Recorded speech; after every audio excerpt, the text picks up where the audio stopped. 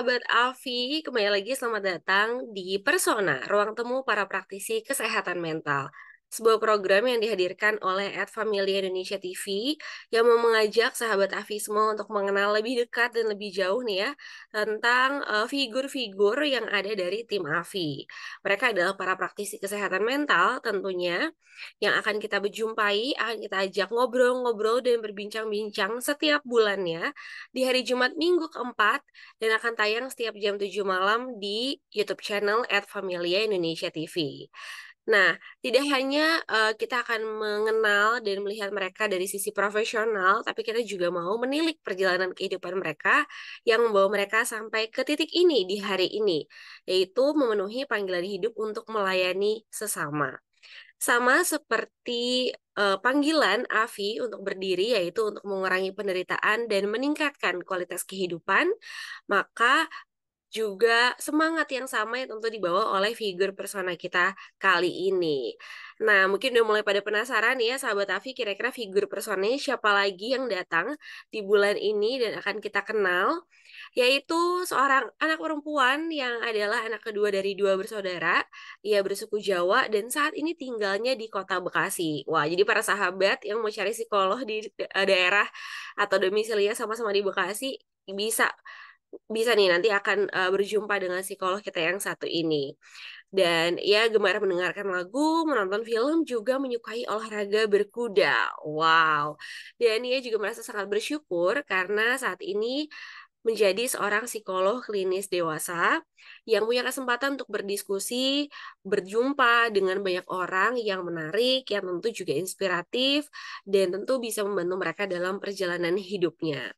Tidak hanya senang berinteraksi dengan manusia, tapi psikolog kita yang satu ini juga senang berinteraksi dengan hewan, atau kita bisa sebut dan kenal sebagai animal lovers. Wow, dan ini memang sejalan dengan misi hidupnya yang mau berwelas asih terhadap semua makhluk di bumi. Wah, semakin penasaran siapa psikolog yang akan kita jumpai di episode kali ini?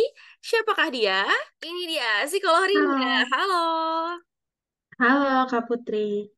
Hai, apa kabar psikolog Rinda? Baik. Kak Baik. Apa kabar? Baik, baik. Senang sekali bisa berjumpa di episode persona kita dan ini adalah uh, figur kita hari ini ya. Uh, para sahabat psikolog Rinda yang tadi sudah sempat diperkenalkan adalah seorang psikolog klinis dewasa yang berpraktik sehari-hari di AVI juga. Oke, boleh nggak nih si Rinda perkenalan dulu sedikit singkat gitu ya, mungkin dari nama, terus uh, sebagai psikolog apa, kalau mungkin mau sedikit diberikan gambaran lebih jauh lagi, dan kegiatannya sehari-hari ngapain aja sih kalau sebagai seorang psikolog tuh? Oke, okay, thank you. Terima kasih, Kak.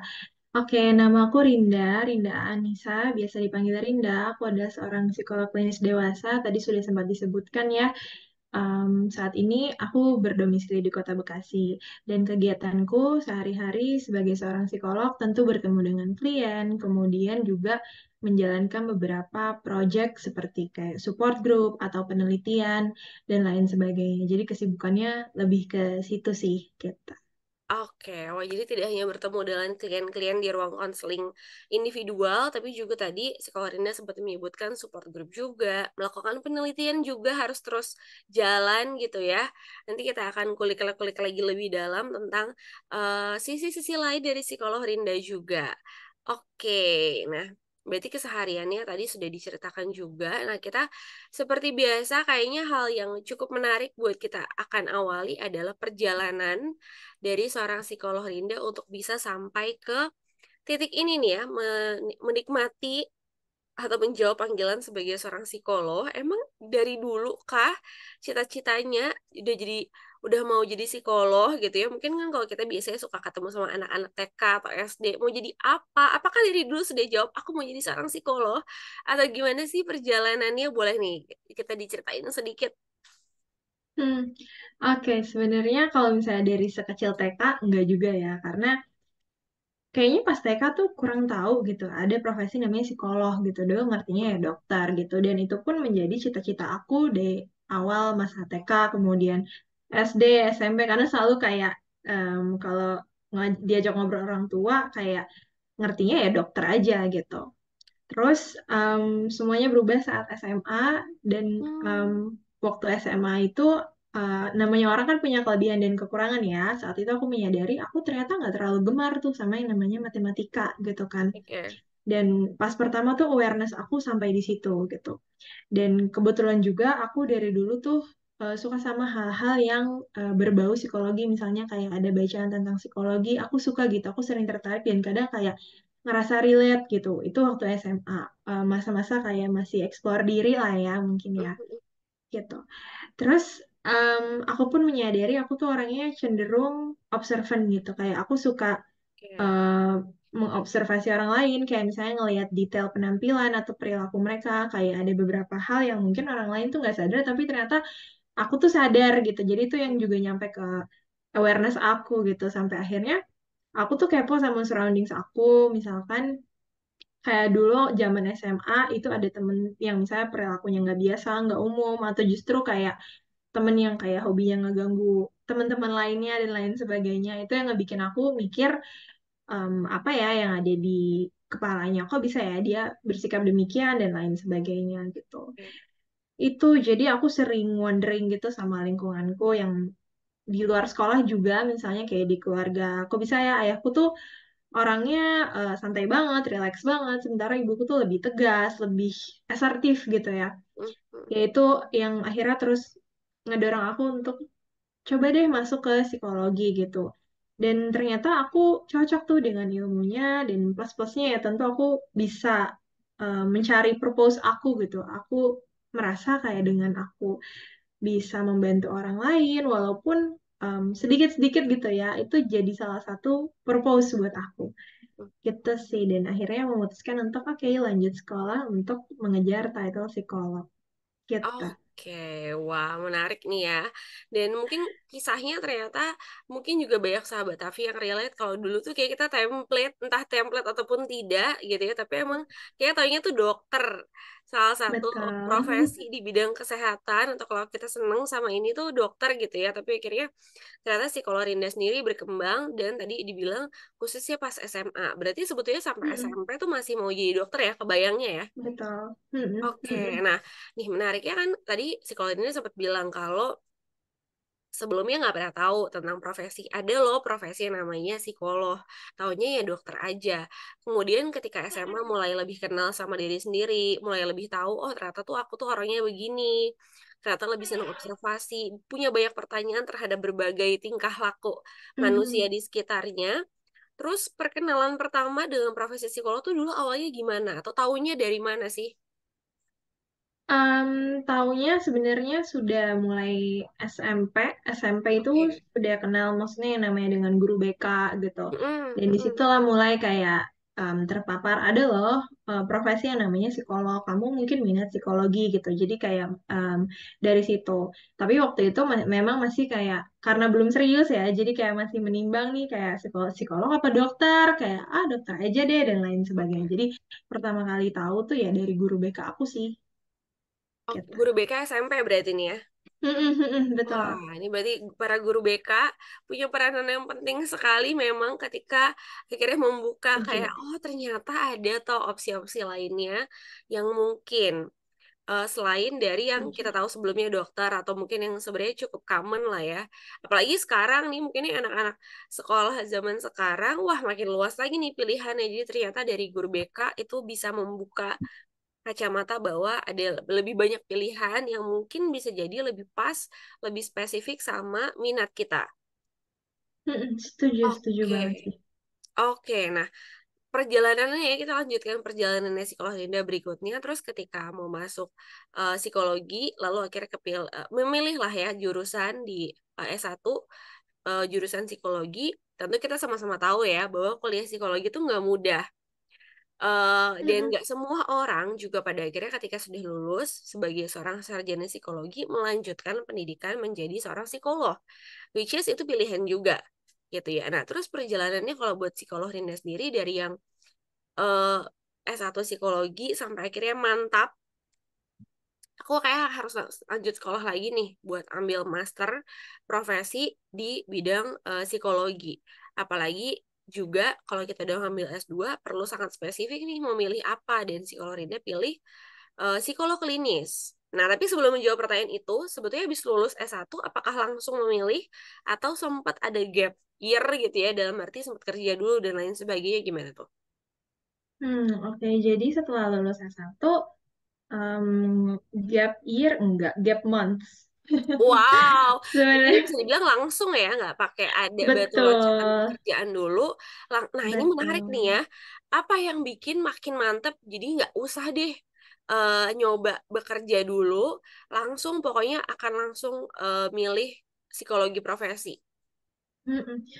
Um, karena dari awal tuh aimnya itu sudah ingin menjadi psikolog gitu kayak Hmm. um, yang dibayangkan aku tuh ya udah jadi psikolog gitu Hmm. Um, dan tahu maksudnya kayak setelah S1 tuh aku belum bisa berpraktik sebagai seorang psikolog tapi aku Oke. juga melalui proses eksplorasi juga Hmm. maksudnya aku mencoba bekerja uh, magang gitu ya di beberapa tempat Oh, beberapa perusahaan sebagai karyawan HR gitu kan biasanya kalau psikologi ke situ ya ya, dan ya. um, ternyata aku find out bahwa oh aku masih punya bayangan untuk menjadi seorang psikolog ternyata aku em, istilahnya kurang cocok gitu ya atau merasa ingin melakukan sesuai mimpiku gitu jadi kayak ya udah dari situ aku mikirnya udah kita coba aja daftar langsung deh gitu.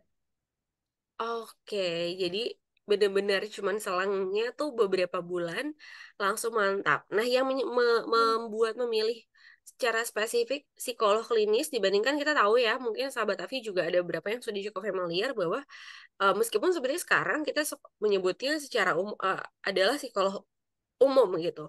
Tapi kita tahu nih sebenarnya ada bidang-bidang minat interest yang bisa kita dalami lebih, entah misalnya di klinis, di pendidikan, atau juga mungkin di industri or- organisasi, atau juga bahkan mungkin ada di bidang-bidang sosial, yang biasanya mungkin jalurnya juga beda lagi. Tapi apa yang bikin si Korinda, oke, fix nih akan klinis nih gitu. Mm-mm. Oke, jadi karena em, tadi ya melalui eksplorasi itu tuh waktu Hmm, aku di HR itu kayak aku udah mulai menyentuh yang namanya psikologi industri gitu kan. Terus Oke, at the same time aku juga masih em, baca-baca atau dapat exposure tentang psikologi klinis gitu. Dan kemudian aku ngerasa oke ternyata memang jalanku di klinis gitu. Kayak kalau untuk yang kayak em, misalnya kayak Kak Putri gitu ya psikologi pendidikan gitu. Itu sebenarnya aku sempat ada interest juga, tapi ternyata oke. em, berdasarkan kayak exposure yang aku dapat, kemudian kayak literatur yang sering aku baca, yang sering aku kepoin itu ternyata lebih ke klinis. Jadi kayak Hmm. melalui proses-proses eksplorasi itu aku mendapatkan kayak oke, ternyata em, lebih masuk ke klinis nih diriku gitu. Oke, jadi maksudnya eksplorasi itu penting ya. Ini para sahabat Afi, Hmm, mungkin sahabat-sahabat Afi yang pada masih muda-muda, yang lagi, aduh nih, pilih psikologi itu gimana ya baiknya atau apa ya bisa di eh, kita bisa menilik dari perjalanannya si Kolorinda bahwa eksplorasi itu penting buat cari tahu, lihat sebenarnya kita tuh emang secara spesifik tuh lebih banyak penasaran atau lebih banyak pengen belajar di ranah yang mana itu bisa membantu kita untuk memetakan sebetulnya bidang mana sih yang kayaknya pengen kita pelajari lebih lanjut. Wow, keren, keren, keren, keren sekali. Wah, ini menarik ya. Nah, eh, melanjutkan dari perjalanan itu setelah sudah jadi psikolog, terus sekarang berpraktek gitu ya sehari-hari. Hmm, dan apalagi mungkin yang mau menarik, yang menariknya adalah eh, kalau nggak salah gitu ya, eh, psikolog Rinda boleh share nih. Ini berarti psikolog Rinda sudah berpraktek selama berapa lama nih sebagai seorang psikolog? Um, sebagai seorang psikolognya itu officially-nya sejak bulan um, around Maret, April gitu ya, tahun Oke. 2024. So, um, sekarang bulan Agustus sudah berapa bulan tuh? Kurang lebih empat bulan ya, Empat, ya, oke, empat empat bulan. lima bulan ha. gitu ya.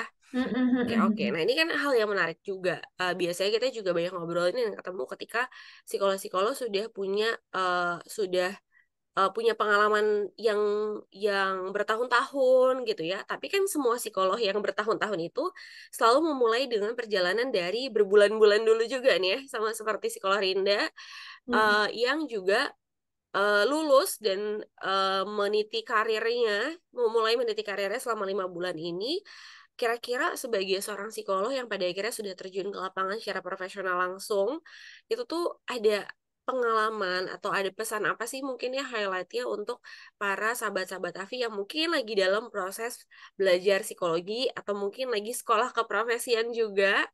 Atau juga ada yang baru mau lulus terus kak aku mesti ngapain nih? Atau how to uh, career path-nya atau kita mesti langkahnya gimana dulu sih? Gitu untuk memulai itu semua. Hmm, oke.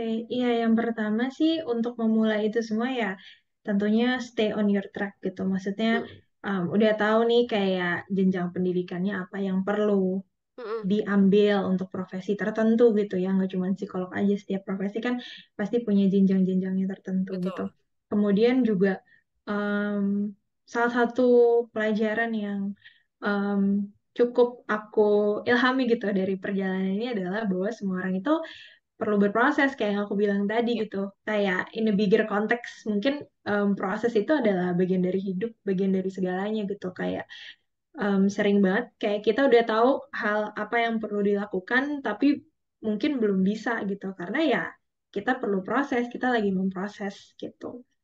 Em, udah tahu jalurnya aja itu kan sebenarnya itu hal yang bagus. Jadi ya ya tinggal kayak menemukan motivasi, kemudian melakukannya dan dalam melakukan itu perlu berproses, jadi ya perlu sabar sama diri sendiri, jangan terlalu keras juga gitu. Kita perlu lembut Hmm. sama diri sendiri.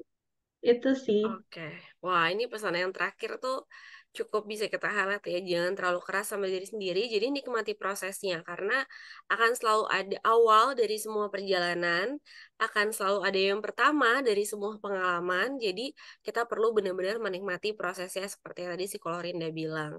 Dan eh, selain tadi jangan terlalu keras, tadi pesan yang pertama juga powerful banget yaitu stay on your track kita tahu nih betul-betul apa yang sebenarnya mau kita kejar, mau kita dalami, mau kita pelajari, dan itu harapannya justru juga bisa membantu kita untuk menentukan kira-kira uh, career path yang kayak apa nih yang mau kita bangun gitu ya, Uh, Hmm, eksplorasi pengalaman dan skill yang seperti apa nih, kurang lebih gitu ya. betul, betul. Oke, oke. Nah, eh selain tadi kalau misalnya kita ngomongin soal memulai karir dan tentu juga sudah menemui sebenarnya kan tidak hanya ketika baru lulus kita ketemu sama klien ya kalau ngomongin soal Hmm, psiko hmm, eh, hmm. menjadi belajar menjadi seorang psikolog terus sebenarnya ketika dari kita sekolah tuh udah dilatih untuk ketemu sama klien-klien juga. Bedanya waktu itu masih pakai supervisi ketat dari para dosen sekarang udah enggak. Tapi tentu kan udah bertemu dengan banyak wajah ya tadi kalau misalnya di awal kita sempat memperkenalkan psikolog Rinda juga bahwa sudah bertemu dengan banyak orang yang bisa menjadikan inspirasi juga, yang bisa membuat tertarik juga untuk mempelajari dan membantu perjalanan mereka. Boleh nggak nih sih kalau Rinda eh, share kira-kira tantangannya apa sih sebagai seorang psikolog ketika sedang Hmm. bertemu dengan se- sejauh yang psikolog Rinda alami gitu ya, tantangan terbesarnya sebagai seorang psikolog tuh apa sih? Hmm, tantangan terbesarnya adalah em, lebih ke diri sendiri sih, ke ketakutanku sendiri gitu. oke. Kayak eh, kayak sering banget mungkin em, ngerasa takut kayak oh aku bisa nggak ya ngebantu orang ini atau mungkin kalau kasusnya ya sesuatu yang rumit atau pertama kali ditemui gitu ya itu juga muncul tuh kayak ketakutan-ketakutan itu apakah aku bisa ngebantu orang ini apakah istilahnya aku bisa ngehandle case ini gitu sih Mm-mm. dan menurutku em, ketakutan ini jadi tantangan terbesar karena begitu dia muncul saat di ruang praktek itu em, istilahnya kalau kita kenalnya udah nggak mindful gitu kita sudah Mm-mm. tidak here and now gitu Mm-mm. kayak kita udah ngebayangin em, kemungkinan-kemungkinan buruk yang terjadi gitu kan. Padahal kayak belum tentu terjadi gitu. Jadi itu juga yang bisa istilahnya it- kayak spider web yang kayak nangkap kita, kita kayak serangga yang Mm-mm. tertangkap di Kayak jaring-jaring. terjebak gitu ya. Betul, betul, iya. Jadi kayak menurutku tantangan terbesarnya adalah ketakutan yang naturally sering dimunculkan oleh diri sendiri. Ah, Gitu. oke. Nah, ini juga sesuatu yang menarik ya. Jadi, para sahabat Afi, apakah psikolog pernah takut? Pernah, tentu saja ya. Bahkan mungkin masih dalam banyak dalam banyak cerita dan pengalaman, tidak hanya tadi seperti yang psikolog Anda bilang, entah karena case-nya baru pertama kali ditemuin, entah karena mungkin si ini sesuatu situasi yang baru gitu kan, atau ada berbagai banyak eh, faktor-faktor lah ya yang kadang-kadang eh, memang ketakutan itu masih terus hadir dan wajar. Kita kan Hmm, suka bilang ya sama klien, nggak apa-apa kok, lagi nggak baik-baik aja, nggak apa-apa kok ngerasa itu. Sejujurnya kita juga bilang itu sama diri kita sendiri ya. ya betul, Betul, karena tadi sih. Ya yang psikolog udah bilang, tak ketakutan itu adalah tantangan tersendiri dan uh, memang wajar masih ada. Nah, tapi ini yang juga penting, gimana sih ketika ketakutan itu hadir buat psikolog Rinda sendiri menghadapi atau overcome the fear-nya? Hmm, oke. Um, biasanya kalau itu muncul, kalau misalnya sebelum masuk ke ruangan konseling ya, pasti aku akan um, mempraktekkan dulu ya kayak teknik-teknik kayak relaksasi gitu, pernafasan supaya aku bisa tetap um, hadir konsentrasi dengan kehadiran klien yang akan datang gitu. Yeah. Kalau misalnya itu muncul di ruang praktek, sama hal sama juga sih, kayak aku akan nangkep ketakutan itu dan mungkin istilahnya kayak hmm, aku tuh punya analogi-analogi tersendiri gitu di otakku kayak oke okay, kamu aku simpen dulu deh di lemari gitu kayak jangan muncul sekarang tapi it's okay aku tahu aku takut gitu aku nerima aku takut tapi um, berusaha fokus juga dengan apa yang harus aku lakukan sekarang dibandingkan kayak larut di dalam ketakutannya itu.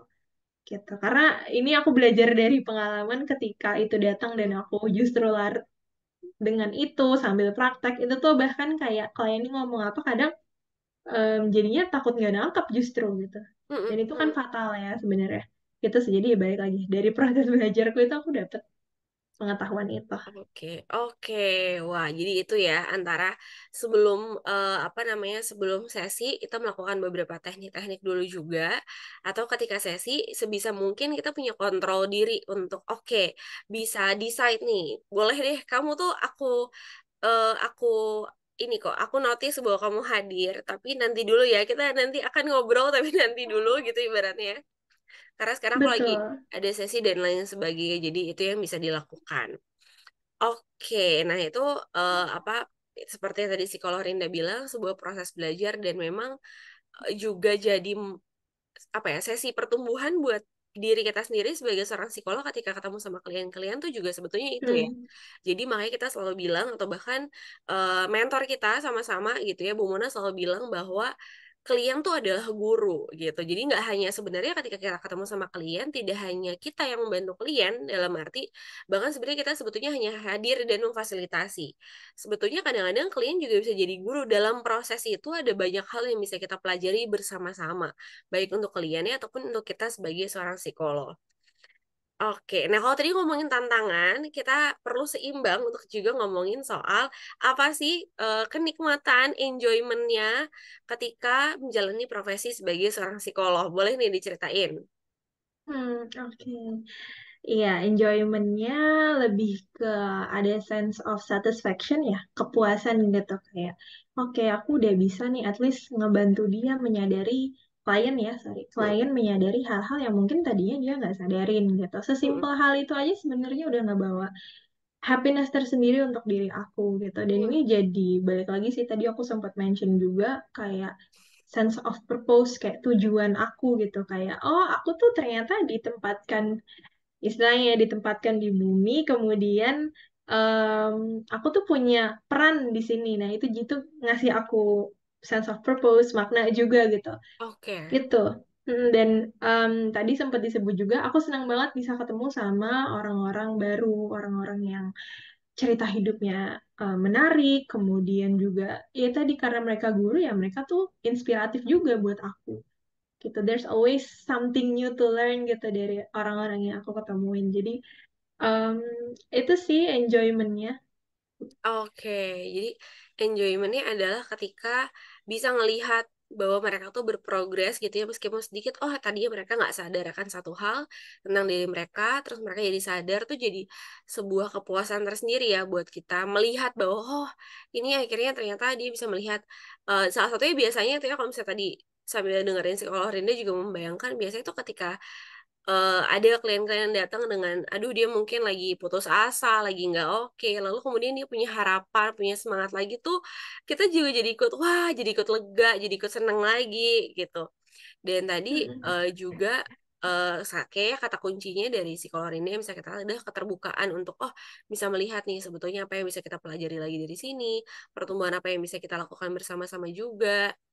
Itu satu proses yang dan itu continue ya kalau kita bisa bilang tadi Setuju, akhirnya setuju. memberikan makna bahwa oh kita tuh masih masih ada perannya loh di bumi ini untuk bisa berkontribusi, untuk bisa do something for others gitu. Mungkin kita nggak, ibaratnya kita tidak mengubah satu koloni, cek satu koloni, maksudnya satu uh, RT gitu ya misalnya. Mm, Tapi at least mulai dari satu individu ini justru juga bisa memberikan kepuasan tersendiri. mm, Si Kolorinda pribadi nih secara khusus. Oke, wah memang selalu menarik ya kalau misalnya kita ngobrolin dan ketemu sama figur-figur persona kita. Nah, karena tadi udah ngomongin yang serius-serius, kita mau nge-game sebentar ya, psikolog Rinda. Ini Oke. eh, santai aja, gampang pertanyaannya. Karena tujuan game sih adalah mau kenal lebih, lebih kenal kalau seperti tagline-nya persona, kita mau mengenal lebih dekat si, eh, sosok C atau pribadi psikolog Rinda. Jadi ada beberapa pertanyaan. Pertanyaannya gampang, singkat, eh, tidak perlu mikir, jawabannya nggak ada benar salah ya gitu. Biasanya kalau tes psikologi Oke. selalu dibilangin gitu ya, nggak ada Iya, benar salah karena ini ya. betul, karena ini tentang psikolog Rinda yang kita mau tahu lebih jauh. Oke, eh, pertanyaan pertama ya dari games kita adalah siapa sih tokoh idola psikolog Rinda di masa kecil? Tokoh Hannah idola. Montana. Ini kalau muncul namanya atau sosoknya akan ketahuan angkatan berapa. Waktu kecil suka banget Hannah Montana, tau nggak? Oh my God, Hannah Montana. Iya betul. Itu salah satu Hmm. idola ya. Betul, Kenapa aku tuh anak kalau boleh tahu? waktu itu. Em, karena dia sering muncul di TV aja sih. Aku anak Disney, terus kayak Hmm, dia sering muncul, terus kayak acaranya tuh lucu gitu. Jadi kayak aku suka dan dia kan kayak girl icon di masanya ya iya saat itu betul gitu ya. betul. Aku suka kayak dia dandannya, terus kayak Ya ya. Jadi em, makanya the jadi way kebayang dia berarti suka yang tampil. girly-girly gitu ya. Nah, iya. Oke, Hannah Montana. Siapa mungkin boleh sahabat Avi yang ternyata seangkatan sama psikolog Rinda yang idolanya juga Hannah Montana, boleh langsung ditulis ya. Berarti ada di era-era yang sama. Nggak tuh anak sekarang ini nggak ya? Ada nggak ya tokoh-tokoh yang serupa dengan itu ya? Hmm, iya nah tuh, aku nggak ngikutin tuh. iya udah nggak ngikutin ya kalau kita sekarang ya. Nah, selain tokoh idola, ini juga yang menarik. Dulu tontonan favorit waktu kecil apa? Tontonan tuh bisa film berarti gitu ya, bisa film eh, movie atau bisa mungkin yang ada di TV atau mungkin kayak tayangan kan dulu udah banyak tayangan-tayangan anak-anak juga ya. Apa pun itu, ada nggak? Um, mungkin s- daripada aku jawab Hannah Montana lagi ya, karena Hannah Oke. Montana is surely salah satu Heeh. favorit aku gitu. Hmm. Tapi waktu aku lebih kecil lagi, aku suka nonton ini eh, kayak semacam National Geographic, tapi dia di CD gitu, jadi belum di channel HB, Oke. eh, belum di channel itu. Heeh. Ya, terus kayak dulu tuh aku nggak mau makan kalau misalnya nggak disetelin kayak tentang National Geographic, tentang hewan-hewan gitu. Mungkin that's udah why, berat ya tontonannya. Oh, tapi ini mungkin tentang ya. hewan berarti ya National Hmm, Geographic-nya ya. Oke. Ada spesifik betul. mungkin wild animal atau laut atau apa gitu? Ah, yang waktu itu sih wild animals, terus kayak aku ingatnya Wow. Oh, Oke, Ini menarik banget. Andai semua anak-anak sih, nggak semua sih. Maksudnya kalau misalnya sekarang, mungkin kalau misalnya ada yang juga mau nonton sambil nonton Nat Geo, mungkin orang tuanya oke-oke aja ya. Iya, iya. Karena Asalkan bukan sekarang, yang adegan singa ya. iya, iya, betul, betul, betul. Oke. Sampai sekarang masih kan nontonin Nat Geo juga? Eh, sekarang udah berkurang sih. Udah ber- mungkin tontonannya yang lain ya, yang berkaitan sama minat-minat lainnya ya. Oke. Nah, ini masih terkait hal favorit, tapi mungkin nggak terpatok di masa kecil, tapi jajanan favoritku adalah Eh, hmm, aku suka banyak hal. Suka tapi salah satu yang suka makan kah berarti? Iya, aku suka makan, aku suka jajan gitu. Aku suka banget jajanan. Kalau di jajanan tuh menurut aku kayak, oh menarik gitu. Iya, iya. Em, mungkin yang lewat aja di otakku sih kayak eh, bakwan Malang. Wow, jajanannya cukup berat ya. Oh, ya Malang. itu makanan ya. Iya, Jajanan betul, eh, betul. kayak Nggak apa-apa. aci-aci gitu Bisa kali ya. kan itu memang ma- masuk masuk ke kategori jajanan buat kita ya. Karena kan cemil lah ya kan kuah, terus bakso-bakso gitu. Oke, ada lagi ya jajanannya selain bakso Malang? tadi em, yang lebih kecil mungkin kayak aci-aci gitu, kayak cilor gitu tuh menarik loh. Oh, semua peracian ya, mau dibilang cilor, dibilang cilung, dibilang ci apa lagi Hmm, sih sekarang tuh kayak apa? ya Cireng itu banyak berarti iya. doyan ya.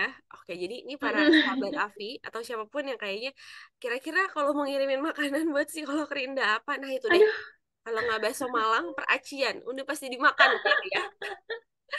Oke, Aduh. oke. Ini jam-jam segini apalagi jam-jam jajan nih ya kalau ada yang lewatin Hmm. bunyi-bunyi di depan rumah itu kan sangat menarik ya. Oke, nah berikutnya adalah kalau kamu marah, kamu akan Eh, teks orang terdekatku. oke, langsung cerita berarti. Oke. mm-mm. Jadi itu kayak line one one-nya lah ya, langsung cerita. Yes. Oke, nah selain marah, berikutnya adalah satu hal yang bikin kamu happy adalah Hmm, makan makanan enak. Makan-makan setuju ya. Kalau kita Eh, bilang tidak ada logika tanpa logistik karena kita butuh makan hmm, untuk menjaga mood kita tetap baik, betul? Betul. Betul. Oke, nah ini pertanyaan terakhir yang juga kayaknya berhubungan dengan salah satu kesukaannya si Kolorinda adalah salah satu hewan yang pingin banget dipelihara tapi belum kesampaian. Hmm, kapibara tahu nggak? Oh my God, so cute. Aduh, oh ini menarik ya. Oke, bi- berangkat dari situ dulu. Sekarang berarti si Rinda punya hewan peliharaan apa nih sebagai seorang animal lovers? Aku eh, mainly fokus ke kucing aja sih. Aku nggak Oke. melihara hewan lain. Oh, ada ikan sih, tapi paling Ah, ikan dan kucing aja sih. Sisanya kayaknya kalau disatukan dalam dunia yang sama agak berbahaya. Oke, apa tuh misalnya? Ya, maksudnya kayak misalnya aku punya burung juga. Itu Hmm, kan misalnya aku punya burung juga kayak kayaknya akan berbahaya deh dengan kucing-kucingku yang suka Oke. lompat sana lompat sini. Jadi harus menjaga ini ya ekosistem eh, hewan di dalam rumah juga ya.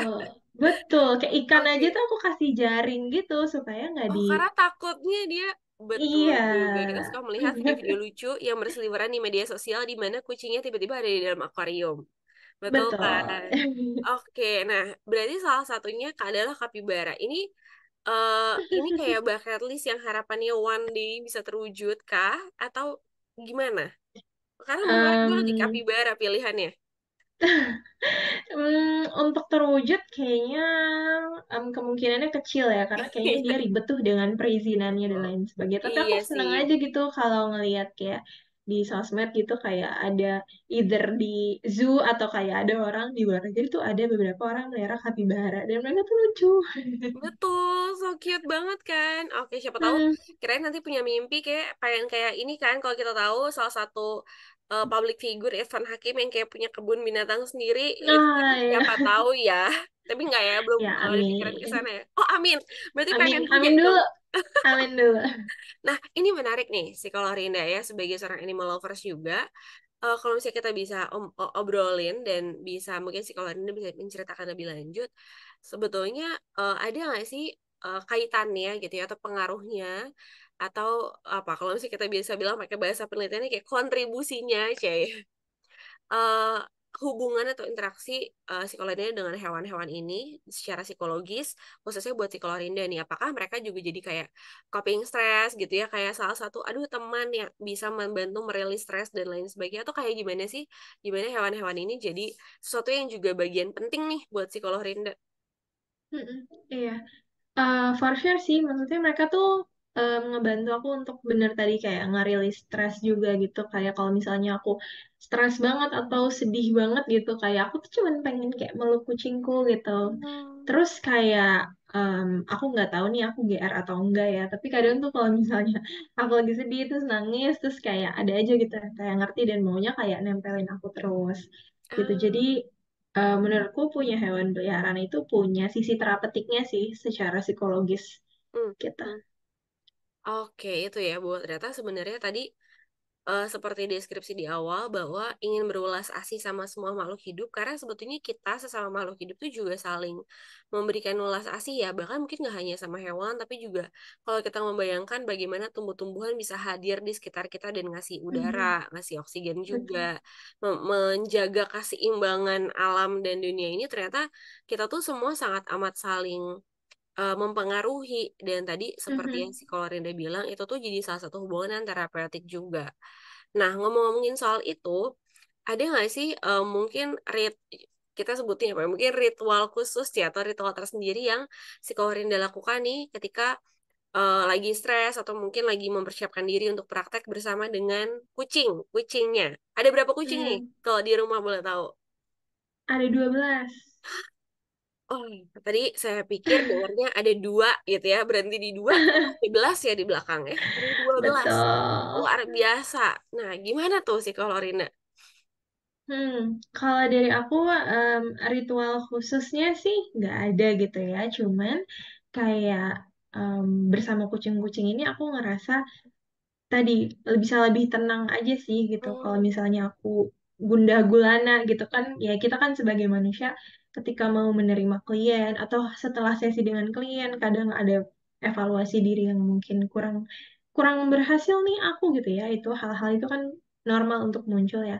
Itu mereka menyediakan kayak ketenangan sih buat aku gitu. hmm.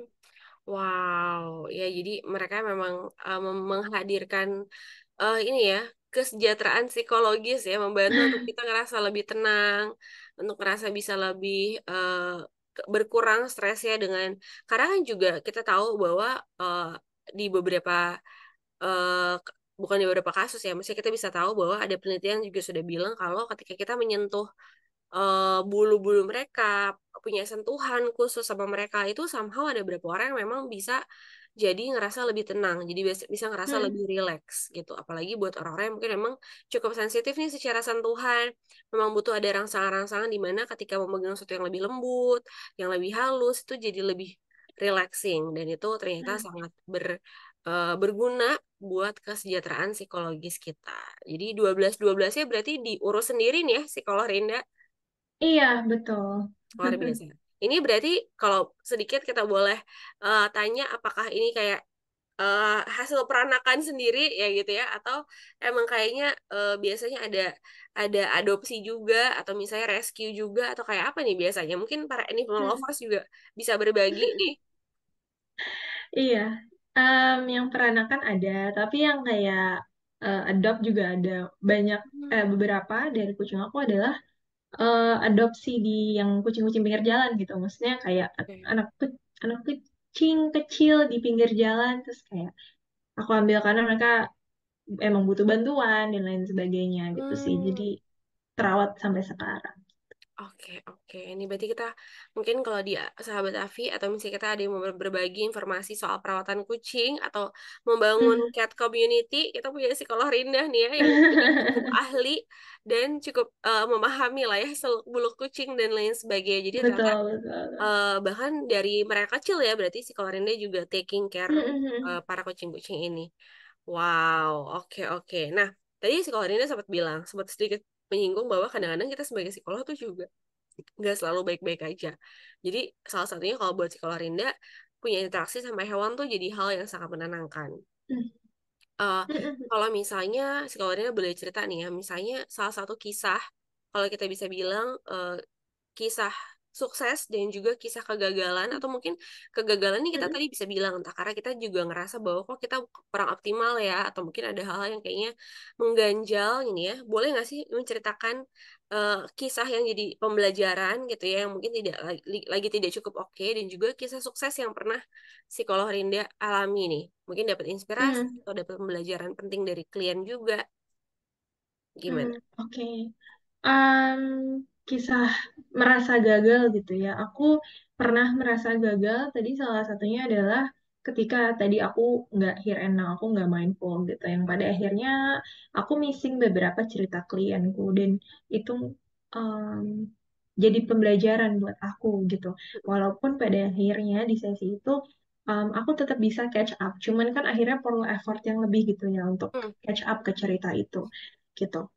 Em, perasaan gagal juga muncul kadang kalau misalnya em, ketemu sama klien yang mungkin dia belum siap untuk menerima perasaannya, masih berproses gitu ya, belum siap untuk berubah dan lain sebagainya. Itu kadang ada perasaan seperti itu ketika aku memang sedang tidak rasional gitu ya Mm, mm, kayak em, dengan klien yang maju mundur gitu. Padahal memang sebenarnya itu lagi proses aja gitu. Itu sih sense of em, failure kayak kegagalan, rasa kegagalan yang padahal sebenarnya kalau dipikir-pikir lagi ya mungkin itu part of the process aja Ya, gitu. ya. Gitu. Terus kalau misalnya kisah yang keberhasilan, em, aku suka nanya sih ke klienku kayak em, feedback mereka seperti apa.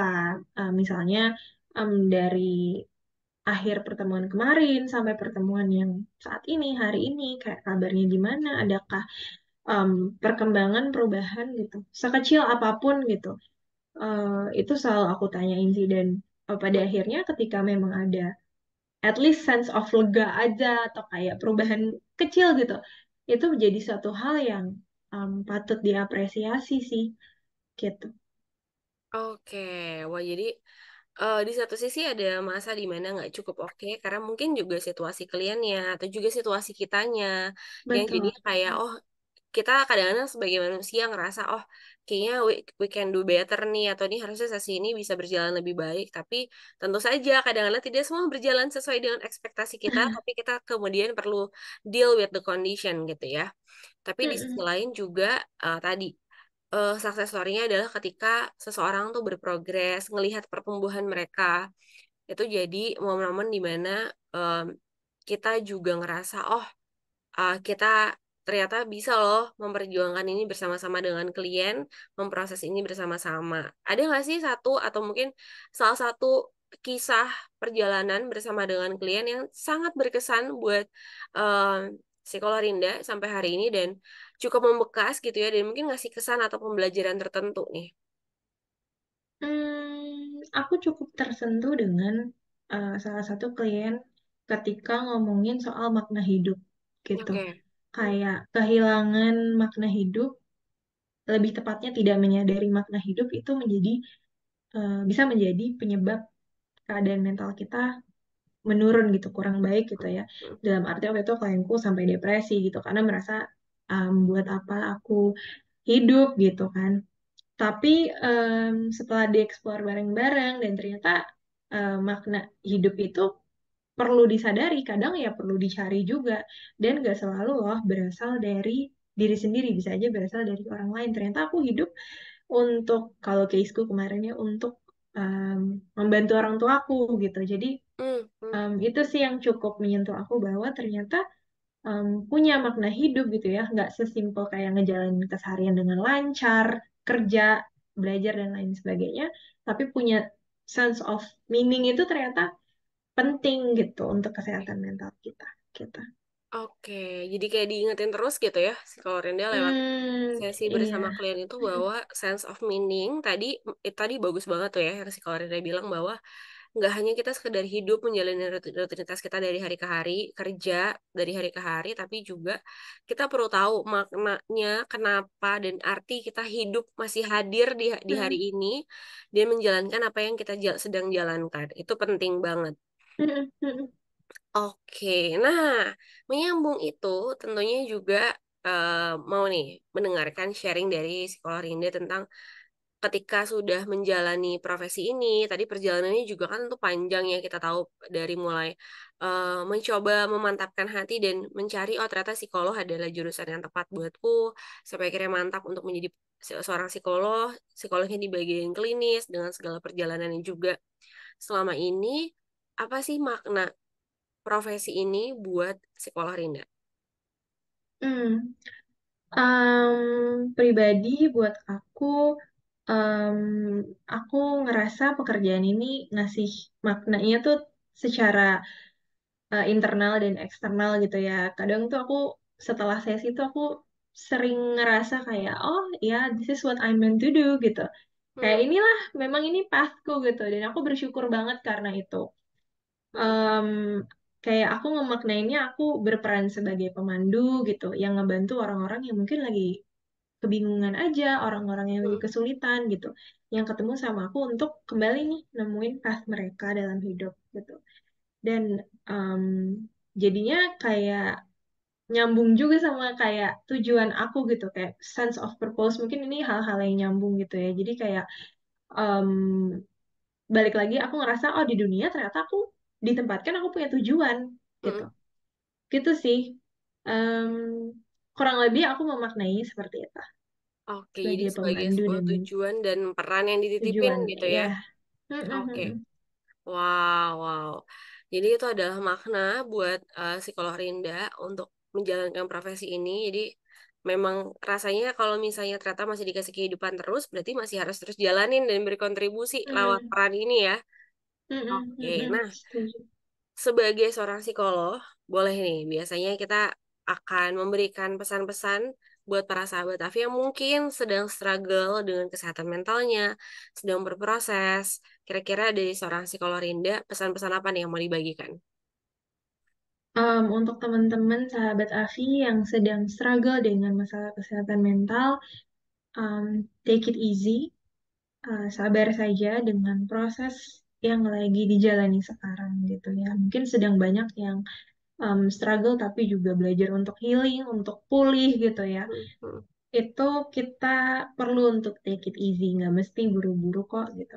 Karena em, terlalu lama itu juga nggak ada parameternya gitu. hmm. Jadi em, jadilah lembut sama diri sendiri gitu sih.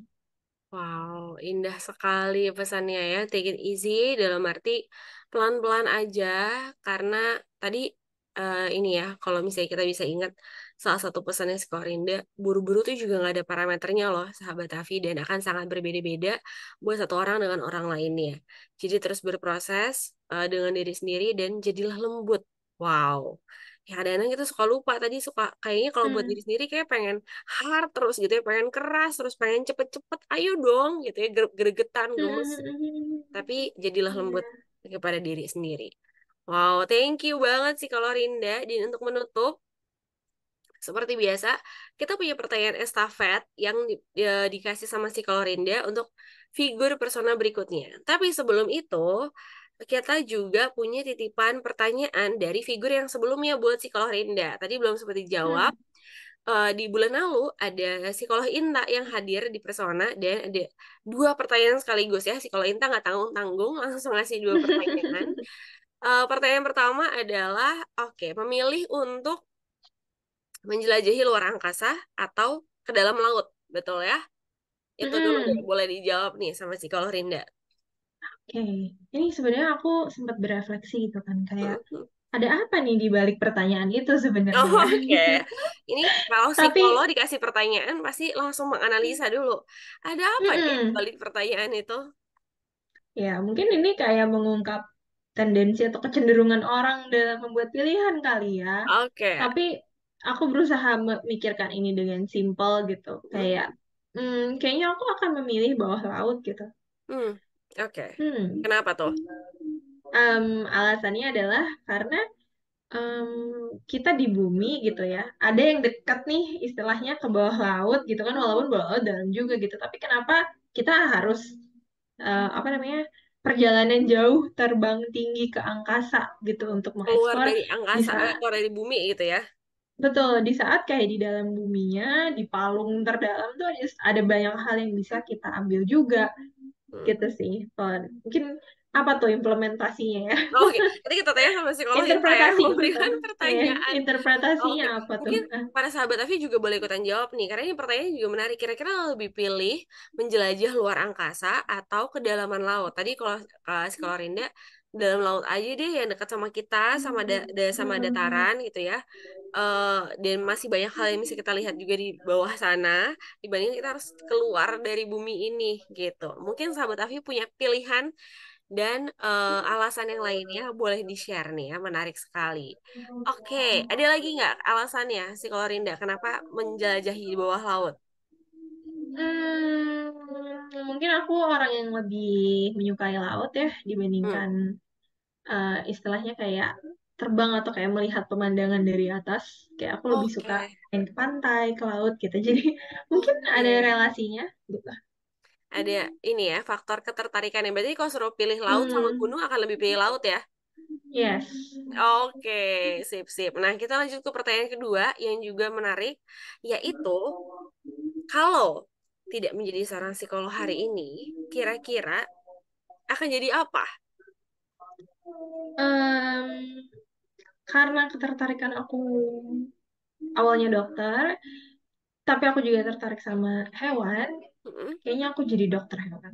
Oke, jadi kalau dikombinasikan ya, menjadi seorang dokter Betul. hewan. Nah, tadi eh, sudah menjawab nih ya pertanyaan dari psikolog Inta, dari psikolog Rinda kita udah dengar jawabannya. Sekarang saatnya psikolog Rinda yang kasih pertanyaan estafet untuk figur persona di bulan depan. Boleh nih, apakah pertanyaannya?